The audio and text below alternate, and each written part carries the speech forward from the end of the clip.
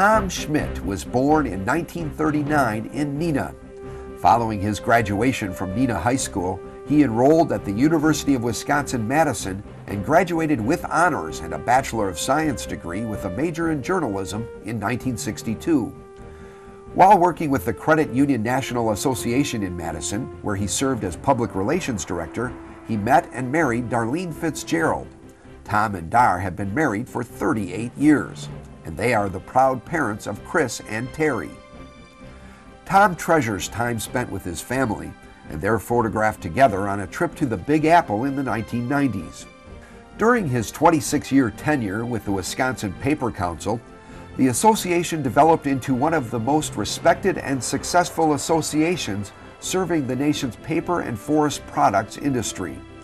He is particularly proud of the association's highly professional and talented staff, a staff that has worked together for many years. Tom attributes the success of the association to a willingness of many people from various companies to work together for the common good of the industry. The success of the Council is testimony to the value of association and the power of association. It is a testimony to the fact that we can accomplish more working together than we can by acting alone. In 1995, Tom was the first recipient of the Paper Industry Management Association's Vision 300 Award that recognized the individual who has done the most to raise the image of the paper industry and to educate the public about the industry's role in business and culture.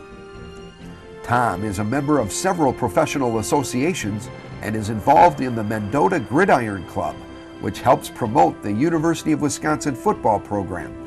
He and Dar posed for this photo with Barry Alvarez. He is an avid gardener and enjoys an occasional round of golf with friends. Tom has served on the Governor's Council on Forestry since its inception in 1981, and he has served under four governors Lee Dreyfus, Anthony Earl, Tommy Thompson, and Scott McCallum.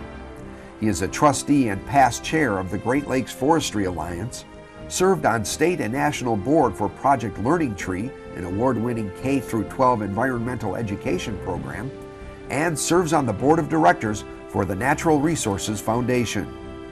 Since retiring on May 30th, Tom has founded Schmidt Consulting, a firm specializing in issue management, public affairs, and public relations services to the pulp, paper, and forest products industry.